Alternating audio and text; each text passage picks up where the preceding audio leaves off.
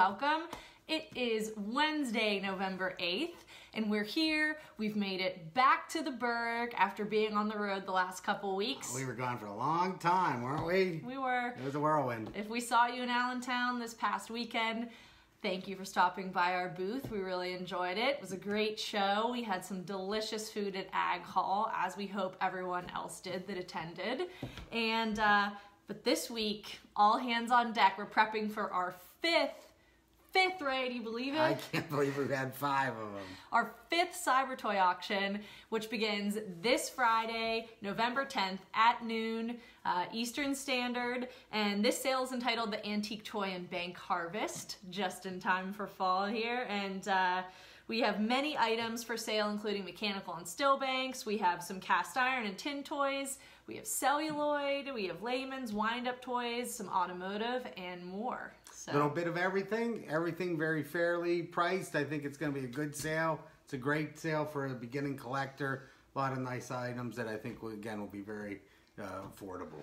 There really are, and you may still register to bid on liveauctioneers.com. So you can bid on PC, you can bid on a Mac. It's super easy. We also have apps that you can download for not only Android but also iPhones, and you can follow along the entire auction on your app. And once you you just make an account with an email and you put your address in there, and it is so easy not only to bid while the sale is live, but you can also place bids prior to the sale if you're going to be busy working, you know, Friday on afternoon. your boat or playing in the yard. That's the great thing. I mean, Yes. the mobility of it all, you can bid from absolutely anywhere. And you can bid from anywhere. You can use your cellular or Wi-Fi signal. You can just jump on. And following the sale, what's also very neat about Cyber is the payment is pretty much automatic. So you put your credit card information into Live Auctioneers when you register your account. And following the auction, within a couple days, usually four days following an auction, you'll receive an email uh, with your invoice, and there's a blue Pay Now button, and it's literally two clicks. So you click Pay Now, and then you'll confirm your shipping address, and that's it. Easy as can be. Shows up at your show- door. Yep, couple days they'll be there. so very automated, simple, and also for cyber, which is really cool, you can text your bids. So if you don't have, if you're worried, if you like Ray said, you're on your boat and you don't have, uh, you know, maybe um, not necessarily the best Wi-Fi signal or cellular service, you can text bids to 412-841-0623 and we'd be happy to execute them for anyone. And you know this is cyber toy, so we want you to do it as electronically as possible, but for the technologically challenged. You can still call me and talk to me. I'll take your bids. You can give me the lot number and how much you want to bid. He even still accepts snail mail and fax. everyone. Yes. So you can call me 412-343-8733. That's an old-fashioned Or, landline. or, drum roll, even better. fax. You could fax, or you could email him at raytoys at AOL.com. Are you making fun of my AOL? For everyone, you know, that used to have dial up like 15 years ago. That just shows you how long I've been in business. That's my one and only email address. Okay, that's well, like that's a true. badge of honor. Okay, I mean, it works. I, I will say I did have an AIM account, you know, years ago, even though they're officially shutting too. down this year, which I didn't even know they were I heard business. that. I heard that. Yeah, but uh, also speaking of, before we get into the toys, speaking of boats, Ray's got his uh, dolphin bling on over here. My fish. I mean, and I just need to say, like, who does he think he is? Alex from Siesta Key? Hey, I'm a big fish. Uh, where do you think Alex learned all that from? Uncle Ray. Okay. Regular Kelsey over here. I don't know. Uncle Ray. Where's your anchor? Words of wisdom. That's right. I'm good at that. all right. Well, with all that being said, All right. we hope to see you online. We're going to be running the auction once again this Friday, liveauctioneers.com at noon. So, All right, we're let's gonna get on to show our some toys. toys. Let's start with this. We're gonna start- Feature yes. lot in the wholesale. Beautiful North Pole bank made by J&E Stevens. It's a very, very rare bank if you haven't seen one before. And this one is in excellent condition. And it also says North Pole Bank right up top. If you weren't able to see that from my other angle I was showing it at. And um, yeah, it's just really rare. So it's All made of cast So iron. it's really rare. There's a lot to be said about this bank here, and this is sort of going to be like sort of a master course in bank collecting. Okay, North Pole Bank, coin goes in the side right here, press it, up comes the American flag. It was originally made to commemorate Admiral Peary reaching the North Pole in 1909. Um, of course, Captain Cook said that he was there a year before. It was always a dispute, but Cook could never prove it, so Peary's the one that gets credit for it. Uh, this bank, along with a, a, handful, the most notably, generally they're all J&E Stevens banks, um, but the Clown Columbine and Harlequin and the Shoot the Chute. Uh, those three banks are very rare banks made by J&E Stevens. Um, they also were all made in what we call a second casting, and this is actually a second casting. So this bank wasn't in the original production run of J&E Stevens. Mm-hmm. Again, it was originally produced 1910, uh, and they probably only produced it for a year or two. Um, what happened? J&E Stevens closed down, I believe, in 1932. Uh, generally, all those molds and patterns were split between three employees of the of the um, the foundry, which is in Cromwell, Connecticut. Uh, and they all took the original pattern. So they sort of split up the patterns. Uh, one third of those patterns went to a, a, gentleman named Mr. Bowers. I don't know his first name. I was racking my brain for it. I couldn't think of it. In Philadelphia. And he was good friends with Mark Haber mm-hmm. uh, in uh, New Hampshire. And I visited, my father and I actually visited uh, Mark Haber back in the late 70s. Bowers and Habers used these patterns, which were the original patterns from the foundry, to produce those three banks plus a handful of other ones. They match the base tracings exactly. They look exactly the same. They're made from the original pattern. Um, Bob McCumber made one of the first uh, uh, books for bank collecting where you, he actually put the base tracing. So they had the bank and he would trace an original because the reproduction generally is a little smaller because mm-hmm. they would use the this example to cast the reproduction, every time you do it, it shrinks a little bit. Okay. Are you learning something? Very interesting. um, this bank was used, they used actually the original patterns. So it's very difficult for a novice to tell. On this one, there is a couple tip offs that's very easy. Um, the original, which you, there's maybe eight or ten original ones out there. Uh, the original one, it's painted with silver. It doesn't have this white on it. The, the figures have faces painted on them. Why don't you show that real close? Yeah, so there's some dog sledding going on on here. Yeah, as you can see up right on the mountain. The so it's sort of like a mountainside, you know, that shows all the, the like a dog sled and everything. On the original, those are painted with gold highlights, not that copper highlight. Uh, they also have faces painted, and there's some blue traces uh, that you'll see on there. Uh, so that's really, when I see that bank, that's what I look for. You're looking for the color. That's the only real way to tell mm-hmm. whether or not it's an original or not. Now, this bank, again, the original was made in 1910, maybe through 1912. This bank, you know, by Bowers, was actually made in the uh, probably the late 30s, right before the war. So uh-huh. it's very early.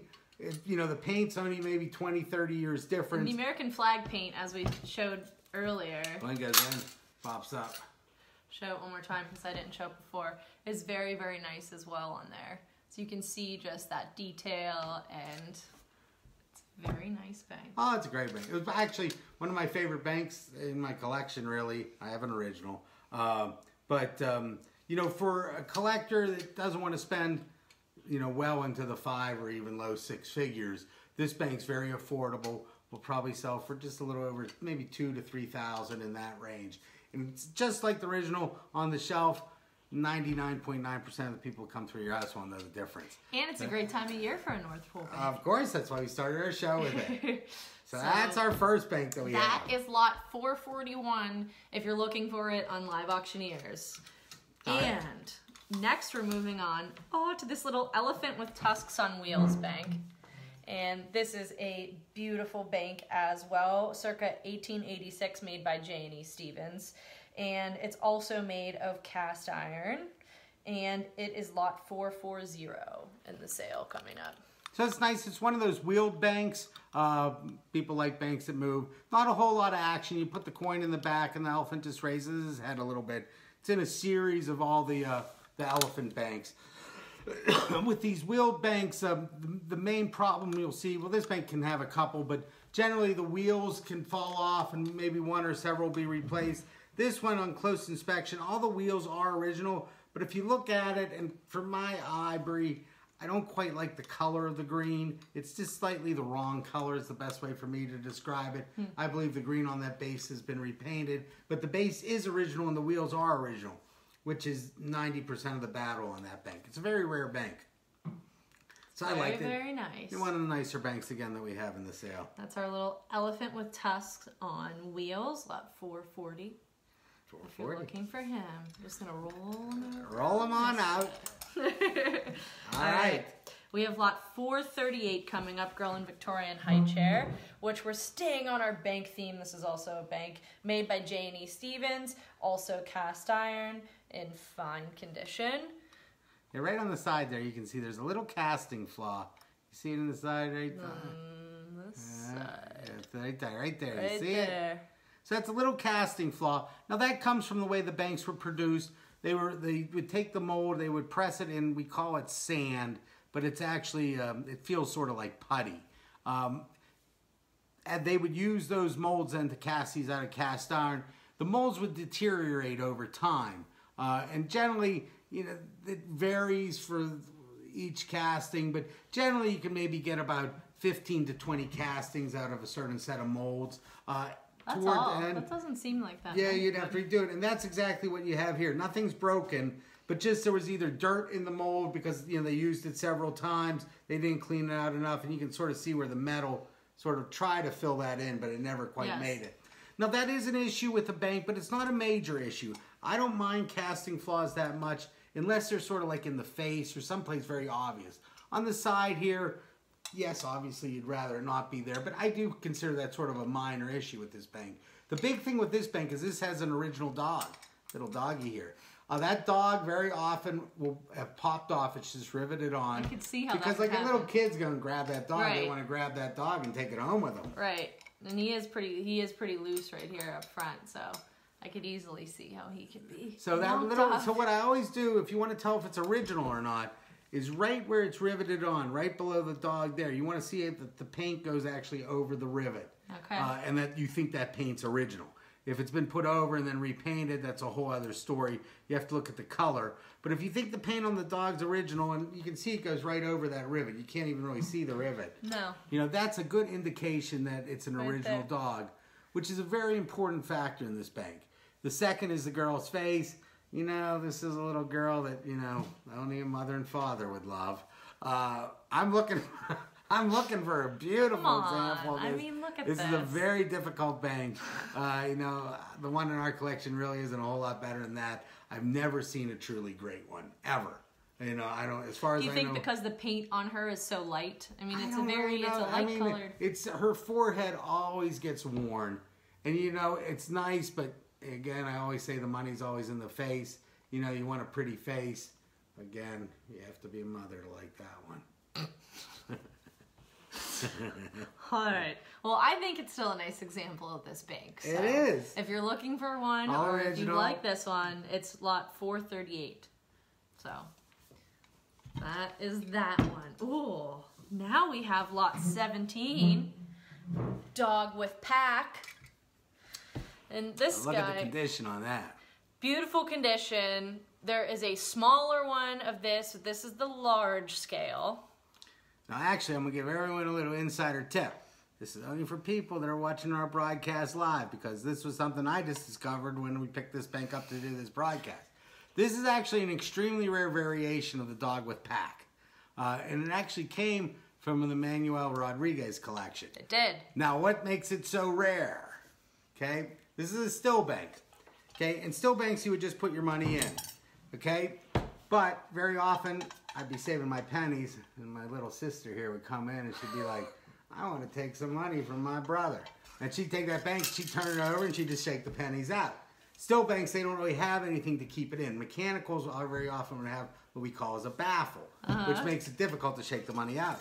Okay, now this bank, very difficult to see, but this bank actually has a movable baffle. Has a in the- stopper. You're not in- getting any money out of this one. That's right. You aren't taking anything from me. No, this one's might be hard because I think it's gonna. Okay, Yeah, take the see little right coin. here, Here, show, put a little coin. Show how that opens. So it will go in, it opens, okay, and then but when, it if the bank's upright, it closes Closes. up. And if you turn it upside down, you can't get the money out. How about Security that? dog. So the only way you could get the money out is you'd have to have a screwdriver, which is harder to do. But you know, you- the, most all the banks, you can sit there and just shake all the coins. Ah, and I come in, I'm like, I thought I had money in there. You're like, no, you had nothing in there. Now I will say, you know, I mean, the other piggy banks that were newer, you know, you could just take a hammer to them and smash them. But this cast iron would make it a little different. Although some kids try to do it, that that's what makes them rare. That is true. Uh, the, this is really in pristine condition. Yeah, so- beautiful bank, extremely rare. You know, some people would even term that a semi-mechanical bank, just because of the uh, the uh, the baffle or the, the stopper that they put in it. Another interesting thing is this actually came from the Manuel Rodriguez collection, uh, which is a collection that uh, RSL handled. Manuel Rodriguez was a real gentleman, uh, old time collector, and he was he was located in Paris. Uh, Leon, Steven, and I had the privilege of going over there, packing up his collection. It took a couple trips to get everything. He had banks and tin toys, but he had a lot of great cast iron banks. And the way he received most most of those is he was good friends with Ed Mosler, which is Mosler Safe Company, and Ed Mosler mainly in the 60s, 70s, and early 80s. He was the premier collector of mechanical banks out there. And he would basically have people from all over the world looking for banks for him. And Emmanuel Rodriguez, in particular, found a lot of European banks. And he would bring these European banks, which an American collector never saw, and he would trade them for great cast iron banks. And there's one story of um, him trading a cross leg minstrel for a, um, which is a rare bank still, but maybe sells for a couple thousand dollars. And he actually traded a cross leg minstrel for a uh, girl skipping rope and a Mikado, which in the, the even in the condition they are today, you know those banks are probably about forty thousand dollars for the pair. Um, so it, it just shows you how things change in rarity at the time. You know, collectors never saw any of those European banks, and Right. it was like, and there was a big push. You wanted to be the first one to have it. So just a little side note on Mr. Rodriguez. Very interesting. Also, what do you think this dog is carrying in his pack? I don't know. Probably blankets. what do you think he's carrying? I don't know, but it's kind of interesting. It's Tobacco? tied with a bow. I mean, Well, uh, dog with pack. What's in the pack? well, they did use them, you know, in the, in the mountainous regions. They use them to carry, you know, loads. So again, it could be almost anything. It might have been whiskey. we'll go with that. okay. Dog with pack is lot 17 again. If you're searching. So that was our nice him. sampling of banks. We have a lot of still banks, a lot of mechanical banks. Uh, they basically start the sale, um, and then we move into the toys. We do. So we are going to move in and we need our little tray. We have some toys to demonstrate, which is exciting. This is a Gunthermann wind up dog biting a man. You wind it up. Here, let's hold it steady. This is gonna be a Well, I knew I was gonna have a hold on. There he goes. Oh, it's hard to do him upright. here. I'll hold the tray, Ray. You make him There work. we go. There we go. Look at that Cujo go. I know, right? That's what I told Ray right before we started this broadcast. I said, you know what this toy reminds me of? It reminds me of the movie Co- Cujo, if anyone's ever seen it, where the dog terrorizes everyone. he looks pretty terrorized. Great action. Nice German uh, tin lithograph toy. Nice subject matter. If you like dogs. He is. Fights. He's about six and a half inches high, and he's marked made in Germany on the bottom or one on of his the- One of the legs, I think. I believe let's so. see, Somewhere. He's marked made in Germany, so and uh, he's lot three eighty six. Cujo action. Yes, yes. Okay. Next, we're moving on to another one that's really fun. This is Joe Penner, and with his duck is the technical name for this. It was made by Marx. We're going to show you how it works in a minute, but it's another wind-up toy, and it's made of tin and sheet steel. It's about eight and a half inches high, and um, he was actually a vaudeville comedian who was on the radio and he really had a couple phrases that or catchphrases i guess you could say and uh, Hey, lady, you want to buy a duck? sure It's only eight thousand five hundred dollars. You nasty man. Me? Those are a couple comments that Joe Penner was famous for. But I do actually have a duck for sale. Now this isn't in the cyber sale, but it was just a little aside and we were talking about buying a duck. A little Gunthermann hand winded, hand painted wind up toy. And you go, look at him go. Little mama duck with the geese running in front of him. Geese go up and down, or little baby ducks. I thought it was a really pretty toy. And it's not eight thousand dollars. No, that's why I said the other tagline. It could be yours for six hundred and seventy-five. That sounds more Pretty, appropriate. pretty toy, real nice. That's for sure. And he works too. And on the side here, it does say, "Want to buy a duck? Sincerely, Joe Penner." You want to try a show? Yeah, We never have luck showing toys in this show. I know. We try. Look at Joe go! He's going nowhere fast. Yay, Right? just tilt him. Look at him go! the cigar moves, the hat goes up and down. You know, Marx, uh, they made some great toys. Uh, this is one of their famous toys. But they made a whole series of these type of walking toys. But this is probably one of the most elaborate. Little Joe Penner and his duck. He did. I know. And this is really cool too. When we were doing some research about Joe Penner, if you've never seen Joe Penner before, that is him right there with his duck. Because I think he said, what, 30s? That's when he was Yes. he was popular. And I must say, I never really knew much about Joe Penner except for the toy. I think he was a little before your time, right? Thank you.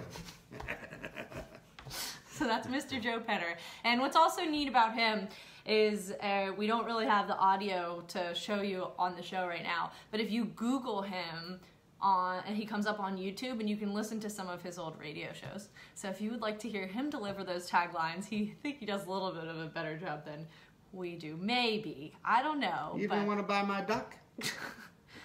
not for the price that you were trying to offer it for. Come on. I'm not nasty. Just kidding. All right. So he was lot 392. And next we're moving on to lot 368. Another Marx toy. This is a drummer boy. That's for the soldier guys. Yes. For our soldier collectors out there. How can we forget our soldier collectors? This is made by Marx. It's a, wind-up toy as well, obviously. And he's a little taller than the last two. He's about nine inches high. He can bang that drum all day long. He does. This is a little bit more. Is they made a number of drumming toys. Uh, this one actually he has movable eyes. It's a little shorter, a little plume in the side of his head, uh, or, or bearskin cap, I guess it should be. Um, Oh, he does. But- he's fuzzy. I didn't realize that. nice toy. A lot of Marx toys, a lot of wind up in this sale. He's got a There's little. noise. He's got. He's got a real plume over there. Oh, See that? Very nice. Very good. Okay, that's our drummer boy. Also nice with the holidays coming up. If you're looking for a little drummer boy. And next, we are moving on. Boy, I like this little guy. toy right after Bre's Heart. This is lot 327. This is Monkey with Pint. otherwise known, saw- otherwise known as a monkey drinking. Hey, uh, if you saw our last broadcast where I think this little, he needs a Budman Stein. He does. Where's my bud?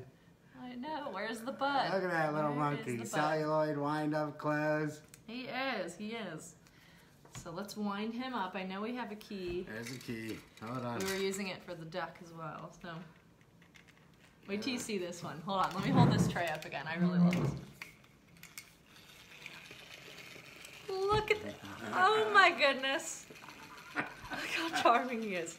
He's doing a little shake. He's dumping beer all over himself, it looks like, or some undescribed. I have no idea why you'd like that toy that much.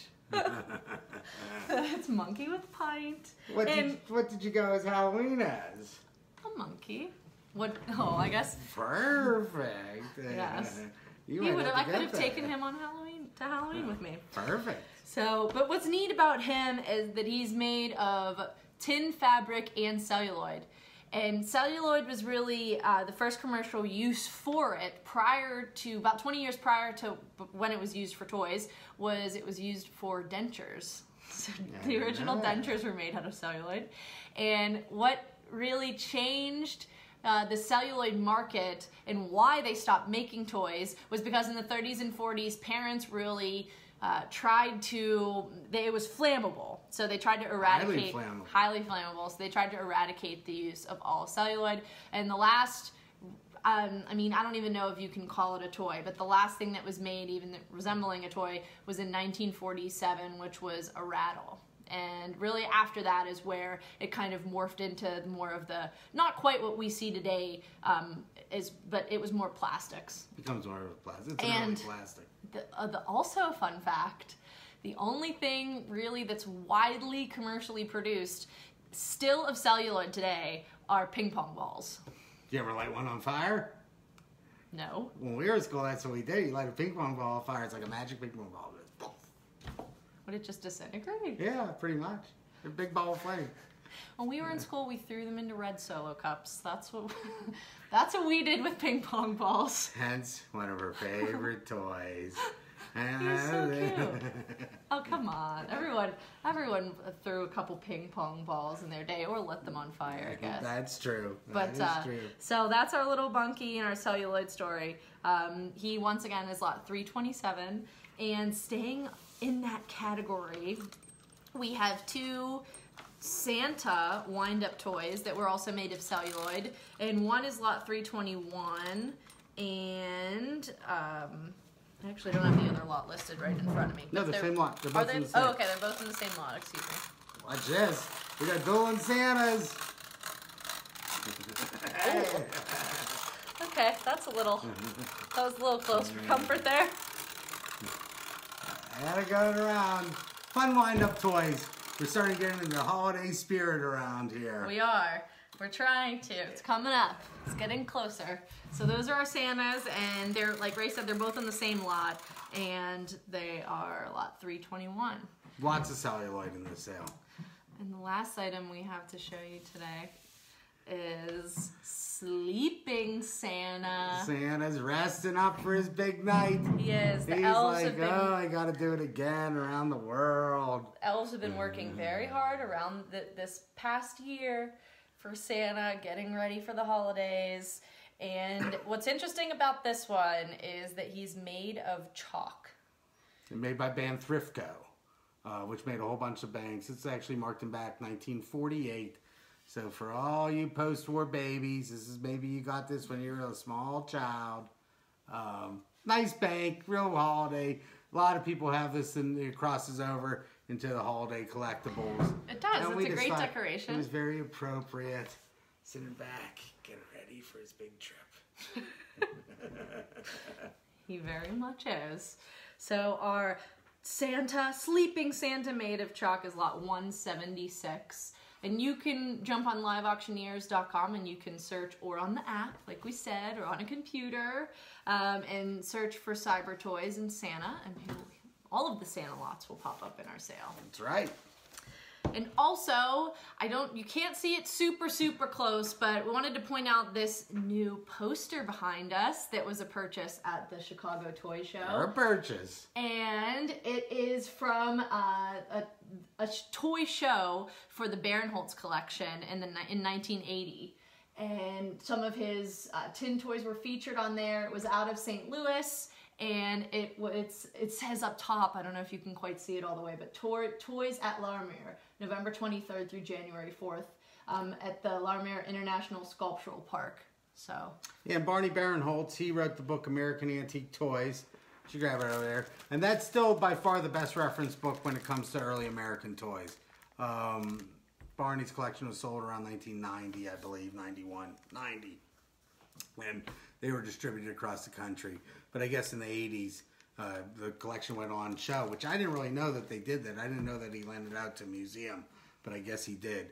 Uh, but really a world-class collection, and everyone that has some Barenholtz toys would consider themselves very lucky. It does. And so if you have any of the toys on this poster, or if you love the poster, it is for sale. So uh, price available upon request if you're interested. But we thought that it was appropriate for a toy broadcast here, and it was new, so we wanted to show everyone. Exactly. And like I said, that's really sums it up for what we had to show you today. It went so quickly, and but uh, our next Old Toy Soldier magazine will be on stands and online on our website within the next week or so. So if you are a subscriber, you can look out for that. If you're not, you can subscribe on oldtoysoldier.com and you can view it online or we'll mail it right to your home. And we have a little preview of the cover right Oh, here, but this right. is very, very in early That's early stages. proof. So it's actually glossy, the real cover. Chelsea if- if you've seen pensioners. We're about to sign off on it tomorrow, but I figure we'd show it. 60, our- I think it's 68 pages. It 70 is. That's our last proof. 72. There, uh, if you weren't, if you made it to the Chicago Toy Soldier show, there's a whole show report in there. If you didn't, uh, there's you could definitely read all about it, and there's some pictures of, of people who attended, so you can definitely look for yourself. Yeah, yeah, well, we still do printed hard copies, so you can still subscribe like a good old fashioned magazine, or you can get it online if you like. Yeah, so that's oldtoysoldier.com once again. And then while we are on the soldier kick, our next Old Toy Soldier auction, huge, huge auction. There's over Immense. 1,800 lots. The catalog we're, is in the final stages right now as well. We don't have a proof to show you, but we're going to be signing on off on that soon, and we'll be putting that in the mail within the next two weeks, maybe the next week, but I don't want to look for it in the next coming weeks Couple weeks. and that sale is December 1st, 2nd, and 3rd. Is it, it is entitled, rightfully so, for the winter, the wonderful world of toy soldiers. If you're a toy soldier collector, cannot stress enough, there is something in this sale for you. The prices are vary all across the board, and uh, there's some really, really rare sets in there. There's some common sets. There's sets everywhere in between. And once again, you can bid on liveauctioneers.com for that. Just search Old Toy Soldier. Uh, the catalog is online right now. And we will be sending out, you can look out for an email blast next week with a direct link to it. But you can search for it yourself now uh, before the printed catalog comes out. And with that being said, thank you for watching. We hope to see everyone behind the computer on the other side, I guess we should say, of cyberspace this Friday, November 10th at noon for the Cyber Toy auction. If you have any questions, you can call or email us. We're still accepting bids and we'd be happy to help walk you through getting online or downloading the app. And uh, happy collecting. Everyone have fun at the sale. Thank you. Bye now.